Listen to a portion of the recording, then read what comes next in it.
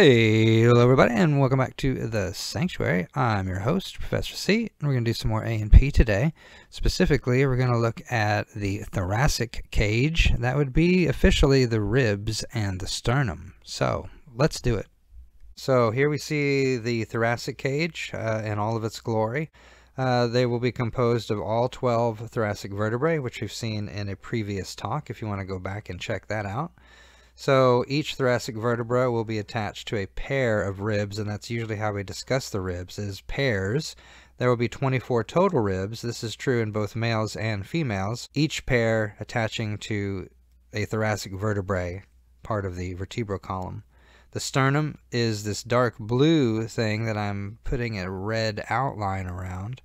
Uh, some people call it the breastbone or the chest bone. It's got three little parts we'll see in a minute. Costal, again, if you see the word costal, you can assume you're talking about the ribs. Uh, it's not coastal, although a lot of people call them coastal. Coastal would have an A in there, and that would refer to, of course, the coast. Uh, costal cartilages refer to something to do with the ribs. So costal cartilages would be here and here and here, where I'm drawing these little red marks, attaching the actual ribs here, where I put a R, R, R, to the sternum. Of course, the function is to protect vital organs. Uh, in here we would have, just to make this even messier, we'd have a lung over here, we'd have a lung over here somewhere, we'd have a heart in between, have a respiratory diaphragm somewhere in here. So, well, of course those are vital, but the argument is, well, there's also vital organs down here I'm drawing the X, right? You got a lot of tubes associated with eating and digesting your food. Those are vital. You must do that. So the question is, why doesn't the rib cage go all the way down like the vertebrae go all the way down? Well, the answer is simple. It's for movement. Uh, we sacrifice a little bit of protection there by putting some musculature over it uh, instead of bone. And we have it so we can, you know, turn around, sit up, make complex movements uh, that we couldn't do if our rib cage went all the way down to our pelvis. Of course, when we get to the muscle section, we'll look at where muscles will attach and where they will originate. And intercostal muscle would say it all, inter meaning in between, and costal referring to the ribs. So when we get to the muscles chapter, you will see, and I'll just kind of illustrate how this would look. You'd see some muscles in between the ribs, and they're going to come in little sections like this, one by one by one, and uh, they're going to help us well, basically perform some of the functions of respiration when we get to uh, that chapter a long way down the road. The sternum itself is made of three parts. You can see the bony parts here broken apart. The first part, I'll put an M here, is the manubrium, and it will, as it says, attach to the clavicles or the collarbones that we'll talk about in the next talk, and the first two pairs of ribs. The main part of it, is just simply called the body. And you see all these little grooves in here that will help articulate ribs. And it says over here in the text, they will articulate ribs 2 through 7. Not directly, though. We're going to see those costal cartilages come in there to make the complete connection. We'll see that in just a moment. Down at the bottom, I'll put a little X on him this time because that is his letter. Some people say xiphoid process. I say xiphoid process because that's the way I heard it when I was younger. So the xiphoid process kind of looks like a little sword or a little dagger pointing down.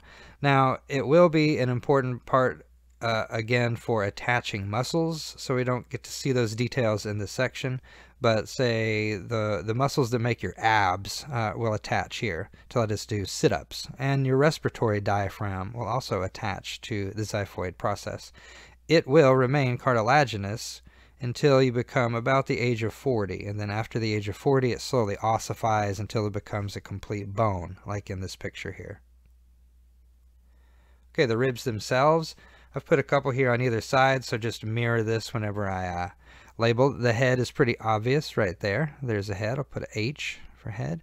And of course, the neck will be right below it, where necks usually are, right underneath the head. So there's the head and the neck of the rib. This, by the way, is where the vertebrae would be.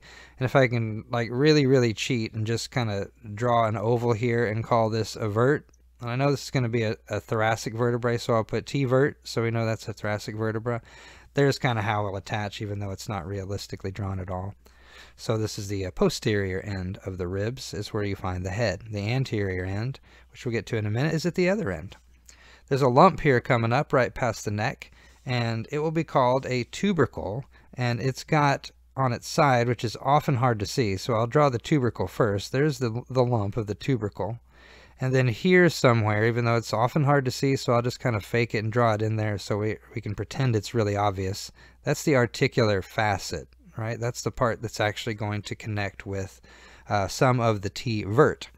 So there's where most of the terms come into play is at that posterior end, head, neck, articular facet, and tubercle.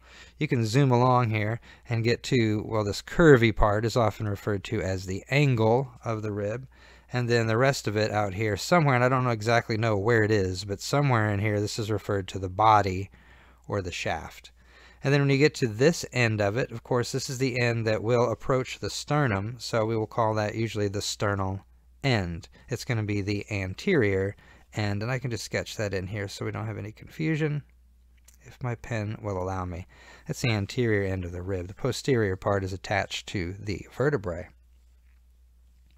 Here's a few images I've plucked out to show you how the ribs would attach to the thoracic vertebrae, and these are called vertebrocostal articulations, again, where the vertebrae meet the ribs. The ribs themselves, of course, we usually talk about them as pairs. Uh, all 12 pairs that we've just shown you have some sort of posterior attachment. That is the head of the rib, which is the posterior part, attaches with the thoracic vertebrae. So when it comes to name the posterior attachment of X rib, it's easy. They all posteriorly attach directly to the T vertebrae, the thoracic vertebrae. However, when it comes to the anterior method of attachment. That's when you get into some of the trouble. So the first seven pairs are called true ribs because they will attach directly to the sternum. Now, not bone to bone. They'll attach with costal cartilages directly to the sternum. So I'm going to illustrate this on the image. So here's rib number one. Here's rib number two. Here's number three, four, five, six, and seven. Okay, notice that they do direct anterior attachment to the sternum via that articular cartilage, that costal cartilage. Six goes straight up, direct attachment. Seven has to bend a little bit to make it there, but it does actually go all the way to the sternum.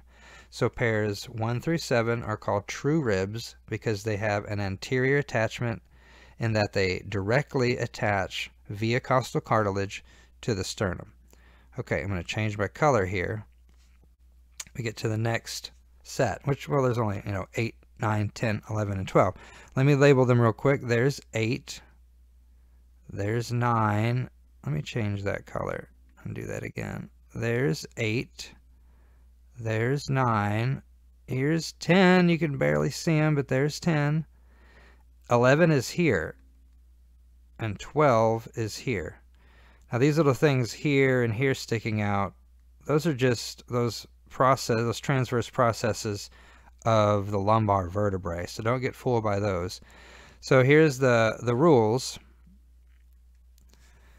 If you are pair 8 through 12, you're called a false rib. That's kind of like your default answer. If pairs 1 through 7 were trues, then 8 through 12 are the falses. Anteriorly, they have two different options though they could attach indirectly. And I'll show you what that means over here in the picture. If you look at rib 8, notice how its cartilage, and I'm just kind of scribbling it here, merges with 7. It doesn't go all the way to the sternum. Same thing with 9. It has some costal cartilage, but it merges with 8 and then merges with 7. Same with 10. It will have a little bit of cartilage that attaches to the one above it, not a direct trip all the way to the sternum. So we call this indirect attachment. Right? It does attach to the sternum, but it does it using the cartilage of the rib above it. So 8, 9, and 10 are false ribs that attach indirectly. Or, as you see down with pairs 11 and 12, again, here's 11 and here's 12, they don't attach at all anteriorly. They have no anterior attachment. So we're going to call those floating ribs pairs 11 and 12. Yes, they're still called false ribs, but they are more specifically floating ribs because they have no anterior attachment or articulation. All right, Did you enjoy some ribs? If you did, appreciate you watching. Check out some more if you want to learn more about anatomy. See you for the next one. Bye bye.